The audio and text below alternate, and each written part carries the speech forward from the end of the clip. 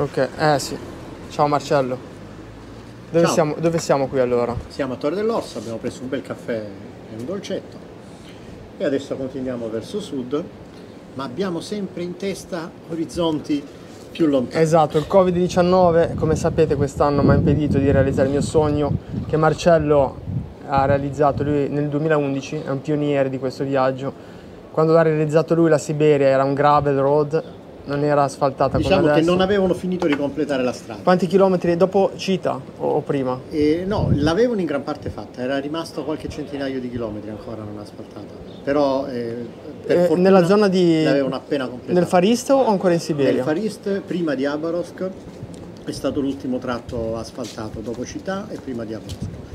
E, e in quel tratto c'era ancora qualche centinaio di chilometri, però il grosso l'avevano fatto. Infatti io sono partito appena ho avuto la ragionevole certezza che il grosso della strada era completa, perché non me ne vado a cercare. E la, la parte più difficoltosa del viaggio è stata quando sei caduto a Novosibirsk? O ci sono... E la parte che mi ha messo un po' in difficoltà è stato quando sono caduto lì in Siberia perché obiettivamente la moto era molto mal ridotta e sapendo di dover fare la maggior parte del viaggio in quelle condizioni un po' di esitazione l'ho avuta, però poi quando ho visto che la moto camminava ho preso lì e ho buttato via i pezzi che non servivano. Eh, sei stato anche fortunato che c'era il tuo amico... Sì, che mi ha indirizzato sul meccanico che ha potuto fare Anche, anch'io ho molti contatti perché l'anno scorso, da settembre, da quando sono tornato dagli Stati Uniti, ho lavorato, ho iniziato a lavorare su questo progetto. no? Quindi mi sono messo in contatto tramite social network e mi sono sembrati molto amichevoli i siberiani. no? Addirittura un, eh, un ragazzo che, vabbè, papà di famiglia, anche lui proprio alla mia età, mi ha mandato la mappa della Siberia, tutta scritta in cirillico, e le calamite di Tumen, non so se pronuncio bene. Tumen, Tumen. sì. Con eh, una calamita di queste è un pozzo di petrolio, perché lì immagino che siano veramente tanti. Oh, molto amichevoli. E Niente, ho- mi ricordo che a Vladivostok dormì presso un biker club locale che mi accolsero. Ti ricordi come si chiamava? Eh, no, ora non me lo ricordo, ma forse li ho citati nelle... Ma avevano nel anche moto custom. Eh, sì, avevano moto custom ed era, era sì a Vladivostok. Perché eh, non so se hai seguito Wiz, no? Eh, Sì, lui ha fatto, l'inverno. E lui ha avuto un problema poi al mono, l'ammortizzatore, a 200 km da Vladivostok. E è andato proprio un membro di, di un club biker. Sì, gli è andato incontro. Non, non mi ricordo bene il nome, non vorrei dire una cavolata, Iron Tiger, qualcosa del genere. Che ha postato il video. Esatto. Si vede lui in macchina che La si ma- avvicina a questo pazzo di italiano in moto. Esatto, cioè, che, stava lo scortava, esatto. Andando sul ghiaccio, sì. Sì, perché è stato aiutato da mm, Dima, che è un motoviaggiatore che abbiamo incontrato entrambi a Verona. E, difatti quando arrivai a Verona non conoscevo Wiz, e iniziai a parlare con un fotografo americano che era con questo, ehm, con questo viaggiatore russo, che lui organizza anche a Mosca un evento, no? E mi disse, gli gli parlai del mio progetto e mi disse, ah ma qui c'è un ragazzo che ci fa arriva tra 5 minuti e lui parte adesso. Io dico, come parte adesso? Ci fa sì, pa- Fuori stagione. Parte adesso. E niente, qui ho portato il libro perché ci terrei che, che tu mi scrivessi, vabbè, una dedica innanzitutto perché è il primo giorno che ci incontriamo effettivamente e poi se ti va eh, un consiglio, A voce o sul libro. no no sul libro, un, un consiglio, un, un tips come dicono gli americani sul, sul viaggio se mai Un lo farò. consiglio veloce. Se mai lo farò, o anche che ne so, non ti dimenticare di vedere questo, oppure stai attento a quello, quello che ti viene in mente. Sì, sì, sì, ho già in mente qualcosa. Non avevo- non avevo dubbi. Fabrizio o Fabri Rock? Fabri Rock, è il mio nome, il mio nome d'arte.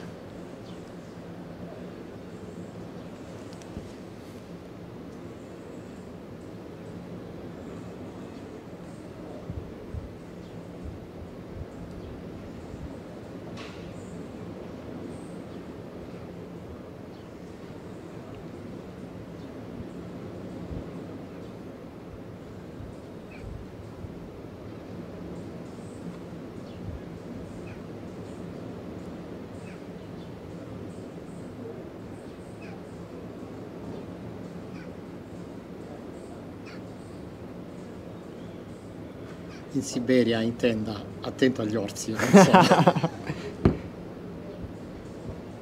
Anche a quelle a due gambe. eh, sì. Non ho mai avuto problemi. Però eh, io ogni sera trovavo un posto sicuro.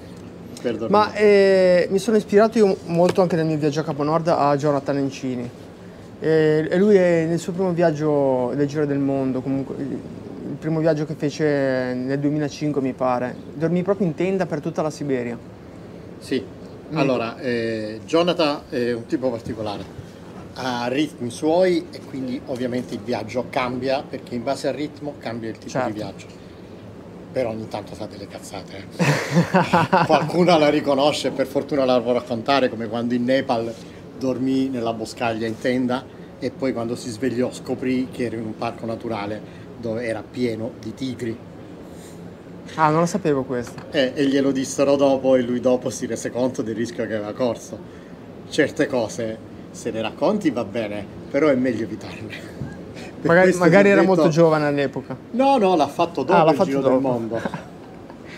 Eh, se usi la tenda e la puoi usare in certe condizioni e ho viaggiato con alcuni che dormivano in tenda in Siberia, stando ovviamente attenti, quindi uscendo da stra- dalla strada subito dopo il tramonto, montando all'alba.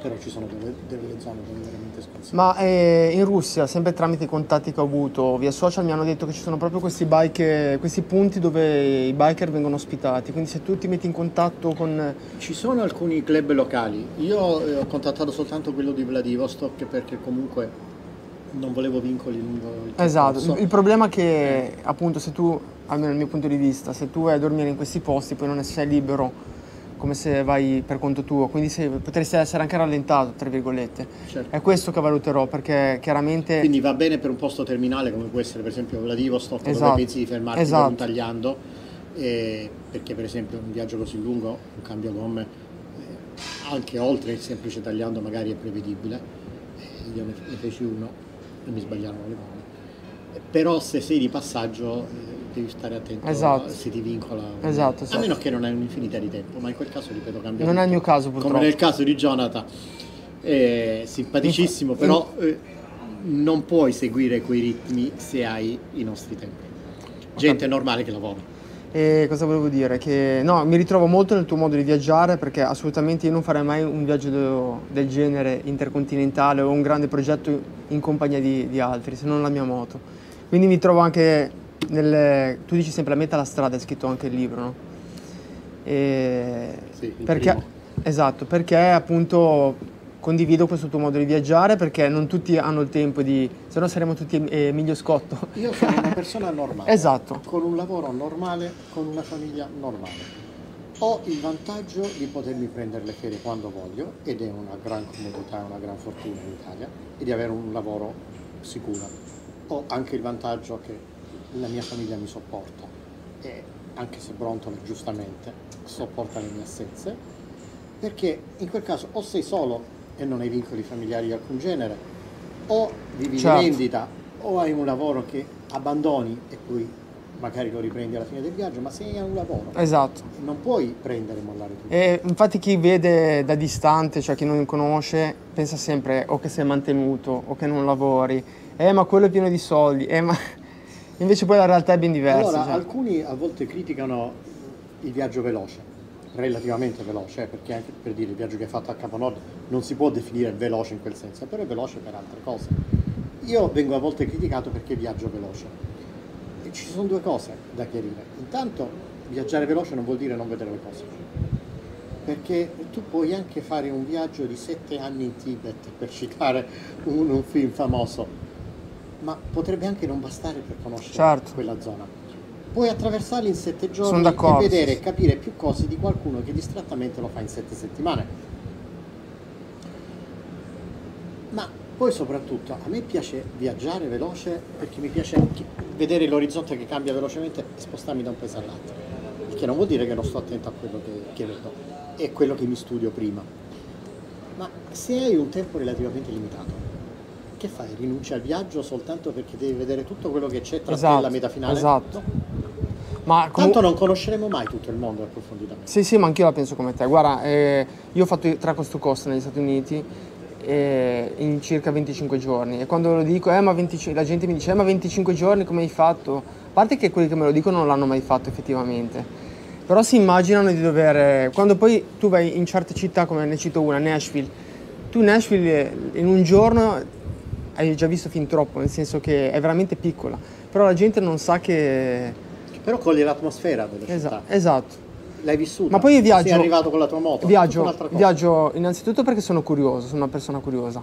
Poi viaggio perché la cosa che. Poi infatti voglio anche sapere tua, il tuo punto di vista. Viaggio perché mi piace capire gli, gli spazi. Cioè quando ho iniziato i motoviaggi la cosa più. Eh, che mi ha dato più gratificazione è capire gli spazi dei territori. Cioè io, la sensazione della distanza. Esatto, io eh, prima di iniziare i motoviaggi, che ne so, pensare al cost to cost in America non avevo idea di quanto ci potesse volere.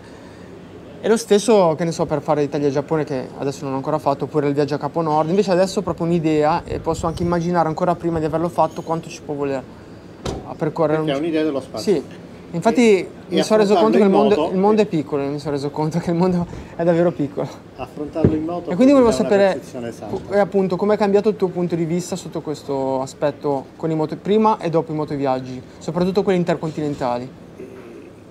Il, il punto di stacco deciso è stato appunto il primo viaggio decisamente al di fuori dell'Europa. In Mongolia. Quello in Mongolia. Perché prima della Mongolia avevo viaggiato quasi esclusivamente in Europa facendo soltanto un poco di Nord Africa, tipo Tunisia e cose del genere. E nel momento in cui avevo praticamente completato tutta l'Europa, avevo preso la decisione di andare oltre, si pone il, il dubbio del che cosa troverò oltre dall'Europa. E lì devi essere pronto ad affrontare, perché al di fuori del Nord America non ci sono quei servizi e quelle strade, ad affrontare l'imprevisto, ad affrontare la mancanza di stazioni di servizio dove trovi tutto, dal mangiare all'andare in bagno o altro, certo. stazioni, punti di rifornimento di assistenza eh, meccanica, strade in buone condizioni, perché un conto è le buche che abbiamo qui, situazione pessima in certi punti, ma parliamo di un certo tipo di strade. Dall'altra parte non devi contare le buche, ma i tratti di asfalto buono.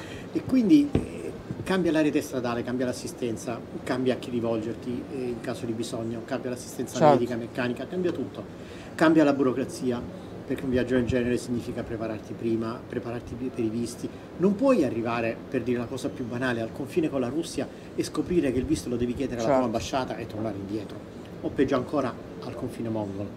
Quindi cambia tutto. Ecco, nel momento in cui si è pronti ad affrontare questo e poi ci si prepara con calma perché alcune cose se non hai un tempo infinito le devi preparare prima, cambia il modo di viaggiare, però a quel punto ti senti di non avere più limiti. E come tu, molto interessante, nell'ultimo viaggio in, a Capo Nord hai deciso di fare tutto in tenda, perché volevi farlo in quel modo, non eri costretto, ma volevi farlo. Certo. E poi ti sei reso conto che lo potevi fare nel momento in cui decidi di andare fuori dall'Europa sai che devi adattarti a certe situazioni diverse. Però una volta che hai deciso di farlo e ti sei preparato, quando l'hai fatto apprezzi la bellezza di viaggiare in un modo diverso, in un mondo diverso, con orizzonti diversi. Eh, poi ti volevo chiedere una cosa, a me è capitato eh, sulla moto di commuovermi, proprio mi sono scese le lacrime, no? Tipo uno di questi momenti è stato il Coast to Coast Florida-Washington, quando ho visto il cartello che cambiava il fuso orario, l'ultimo fuso orario, no? e c'era scritto Andando entering verso ovest, eh, arrivava all'ultimo verso la costa pacifica. Quello del Pacifico, Entering sì. Pacific Zone cambio. c'era scritto e proprio in quel momento mi sono proprio scese le lacrime di perché ho ripensato alla Florida, tutta la gente in, proprio quel cartello fatto, è stata la prima volta che mi sono scese le lacrime sulla moto. No? Non sono uno che si commuove. Sì. Volevo sapere se, se te mi è capitato. Qualcosa del genere mi è successo alla fine del viaggio in America e che ho fatto da sud a nord, quindi dalla Patagonia al nord dell'Alaska. Ero in... Eh, stavo uscendo, eh, ero uscito dagli Stati Uniti, stavo facendo la costa pacifica del Canada e stavo percorrendo, ora non mi ricordo lo stato esatto, se era eh, lo stato del, del Canada sul Pacifico e stavo andando verso l'interno, verso lo Yukon. C'è un tratto molto bello di strada che parte dall'oceano, percorre un fiordo e risale per le montagne rocciose. E in quel momento, mentre cominciavo a risalire, vedevo di nuovo le montagne rocciose in tutto il loro splendore, le montagne rocciose canadesi, quindi con la neve già a mille metri, e le foreste selvagge, e il contrasto tra i boschi e il mare sotto di me, il fiordo. Ti sei emozionato lì? Lì veramente mi sono commosso e ho sì, pensato sì, alla sì. bellezza della nostra terra della natura allo stato puro come il Canada occidentale che è veramente spettacolare e lì mi sono veramente commosso. molto interessante. Perché era veramente un punto magnifico che preludeva a migliaia di chilometri fatti nella natura selvaggia, come può essere quella della Siberia, ma ancora più bella, perché il bello della Siberia è la vastità, la silenziosità, la scarsezza di abitanti, le foreste. Però uno dei posti più belli che abbia visto sono le foreste e le montagne, le montagne rocciose del Canada occidentale, che sono veramente E spettacolari. invece gli Stati Uniti cosa, ti hanno, e cosa ti hanno lasciato gli Stati Uniti? E gli Stati Uniti relativamente poco, perché è bello, è bellissimo. È tutto semplice però. Sì, però eh, soprattutto dopo aver fatto l'America Latina era molto semplice, Sì, sì, era sì, anche sì. troppo semplice, è bellissimo da fare, eh. è un viaggio da fare assolutamente, però dopo che hai sudato ogni metro per passare dall'America meridionale e poi l'America centrale, esserti guadagnate le frontiere, le strade, il cibo, la notte ogni volta per trovare un posto sicuro è relativamente comodo. Quando arrivi negli Stati Uniti paghi e è tutto, cioè c'è poco da fare. Paghi e hai tutto. Eh, hai stato- benzina, hai mangiare, hai ingresso ai parchi nazionali, hai la guida se vuoi la guida. Però eh, Sei stato a White Sand National Park in eh, sì, New Mexico. eh, White Sand. Devo- ah, devo anche Sono darti... passato proprio di là e stavo per dire, però comunque ci sono dei posti spettacolari che anche lì ti commuovi per la bellezza. Uno Ti- è White devo- Sand Sì. e me lo ricorderò sempre, e l'altro è la Monument Valley. Ti devo lasciare anche i La miei... Monument Valley è uno di quei posti che veramente quando ci stai dentro ti sembra che da dietro un sasso esca fuori una diligenza inseguita dagli indiani, cioè ti sembra proprio di stare in quelle cose che fin da Ti ragazzo. lascio i miei adesivi. Grazie. Uno è, è il White Sand. Ah, e poi tu... Ah, eccola dove l'hai presa, sì, il White Sand. Sì. E poi Sì, ti la... questo è iconico del mio E viaggio... Questo della, della Monument Valley è, è l'altro spettacolare, veramente. Eh, E- e guarda, poi il magnete- Guarda caso, i due posti che ho citato.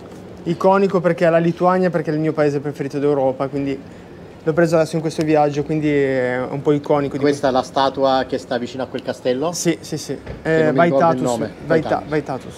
dove hai fatto quella bella dronata. Esatto. Grazie. A Kaunas. Eh, dove c'è il castello che si chiama Kauno Pilis. White Sand e Monument Valley. I due posti che mi hanno impressionato di più negli Stati Uniti.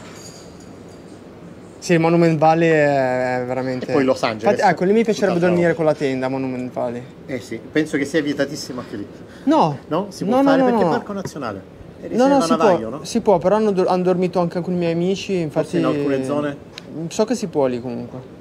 Che generalmente nei parchi nazionali Comunque- è regolamentato. Sì, Ho- questo è White Sand. Ho vari amici americani, tra cui c'è un ragazzo che gira con una FXR, un Harley Davidson del 95. E lui, anche a lui mi sono ispirato, anche se è molto giovane, però ha veramente lo spirito del, del bike. Lui dorme con la tenda in qualsiasi posto. L'anno scorso? Questo è il 2019, sì. Il cost to cost da Los Angeles era a New York. moto? No, questa è una moto a noleggio. Ah, Per- questa per, era- eh, per infatti- 25 giorni spedire la moto non ha senso. Sì, sì, ma, ma l'avevi già comprata questa? Perché questa è, è- E- è nuova. è- No, no, questa l'ho presa subito dopo, a ottobre. Avevo un altro modello Touring Quindi questo è il modello 2019. 2020. Ah, ottobre era già il modello 2020. Sì. Sì, sì, perché Ah, ho, visto L'Harley pochissimi Davidson, chilometri. sì, l'Harley Davidson le, Le presenta già in Sì, autunno. sì, sì, non quest'anno perché per colpa del Covid Sei partito con saltato 4-5 mila chilometri? con 3.000 km, ne ho 22.000. Ecco perché erano i primi italiani. esatto. Quindi sei partito con le gomme originali? Di- sì, e sono ancora quelle. Sono ancora Ah, ce l'hai quelle. fatta? Sì, sì, sì. Guarda, Ora stai eh, 18.000, 19? sto a 22.000. Ah, buono, buono.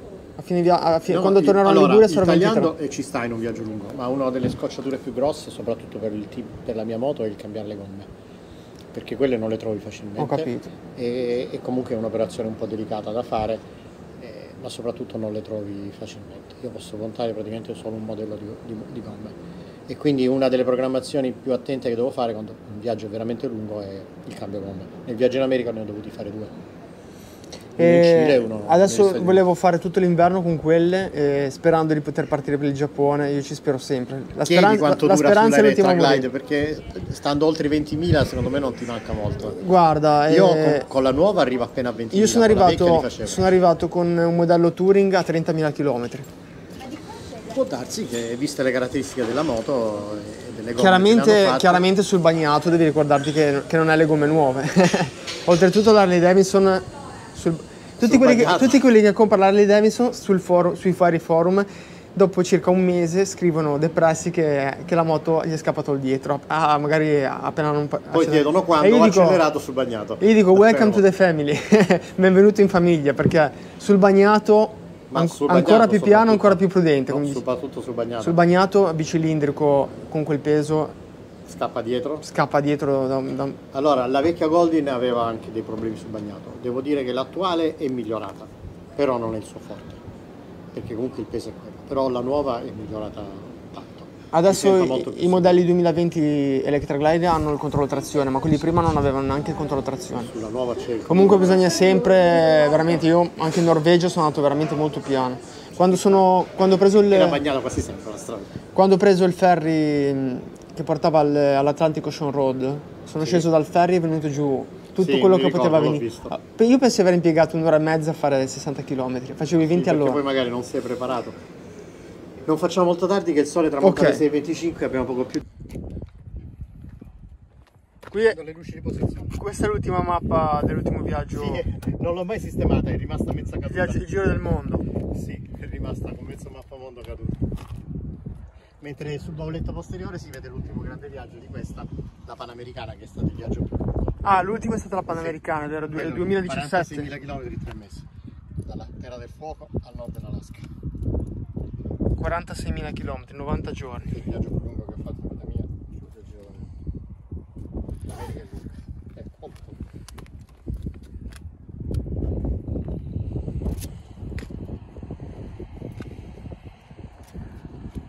Quindi i chilometri esatti mi dicevi prima? 995.000 e 200. Puoi inquadrarlo perché tanto quello è meccanico, quindi si, si vede anche.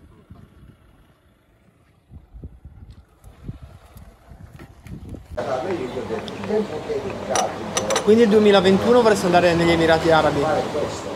Non faccio programmi per l'anno prossimo. Sì, no, chiaro, però- Sinceramente un viaggio del genere va preparato per bene e mi seccherebbe molto dopo avermi sbattuto tra visti e permessi. Attraversamento dell'Iraq tra l'altro, sia pure per pochi chilometri, quindi non una cosa da poco dove rinunciare. Quindi io non programmo per l'anno prossimo. L'anno Certo. prossimo Però diciamo tre pross- settimane, anche al limite un mese per farmi il giro della Sardegna in bassa Però il prossimo viaggio, quando sarà, è quello lì Vorrei negli fare gli Emirati Emirati Arabi. Quindi eh, anche Dubai. Emirati Arabi attraversando l'Arabia Saudita, quindi tutto via terra. Turchia? Iraq, Kuwait, Arabia Saudita. Andata e ritorno. Andata e ritorno. Quindi più o meno saranno 15.000 km andata e ritorno. No, penso un 12.000, non di più. Ah, 12.000. E, e si potrebbe anche fare o l'andato e ritorno, passare dall'Iran e quindi prendere il traghetto da Bandar Abbas, in modo da evitare di fare andata e ritorno dall'Iran. Perché l'Iran c'è il problema del carnet, però poi l'Iran è molto tranquillo da attraversare. Però anche lì devi vedere la politica come, come butta. Io sono pessimista per l'anno prossimo.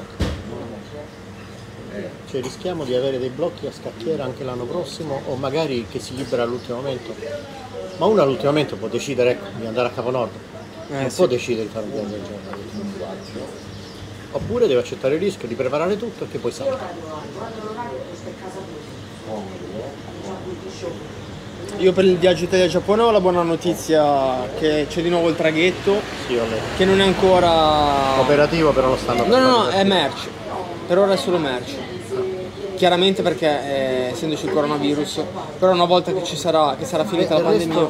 la, la moto la trattano probabilmente come merce, non la, metti sul- non la mettevi tu sul traghetto, quindi Sì, sì, sì, sì, sì, però mi hanno detto, hanno detto che comunque si comportavano bene, perché la mia paura era lasciare la moto. E la compagnia era russa o coreana? La compagnia, O giapponese? praticamente la Corea ha rilevato la, la nave, la Eastern Dream, no? Si chiamava? Eh, che era russa, Eastern non mi Dream, ricordo. era russo, era l'equipaggio russo, nave Giapponese? coreana, coreana se non mi sbaglio. Comunque adesso è tutto coreano. Tutto coreano, sì. Quindi 470 kg. E la cilindrata? 1520. 1520. Infatti quando mi chiedono dico no, questa è la piccola. Perché l'altra è il 1833, no? Questo è 116 pollici, com'è 100? 1850. Sarebbero i 114. pollici- ce- 114. 114. E sono più o meno simili come cilindrata. E invece la, la nuova quanto Golden- 380. 380. Sì, 30 kg in meno e ma soprattutto non ci ho messo 60 kg di accessori, ma solo 12.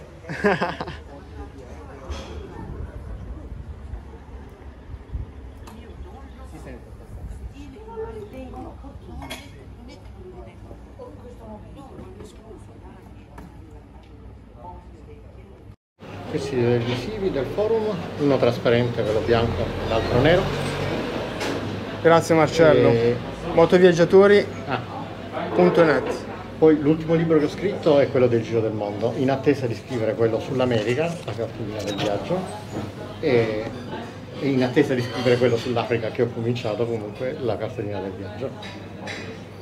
Dopo Comunque l'America sono tutti, viaggi, tutti i viaggi sono ra- raccontati sia sul sito internet del tuo sito. dei motoviaggiatori e poi sul mio, sul mio sito internet ci sono l'elenco dei cinque libri dai viaggi in Europa al giro del mondo, passando da Mongolia a Giappone. Con tutte le foto anche sul sito internet e anche Sì, sul forum. stanno sul, sul sito internet oppure c'è il link al forum.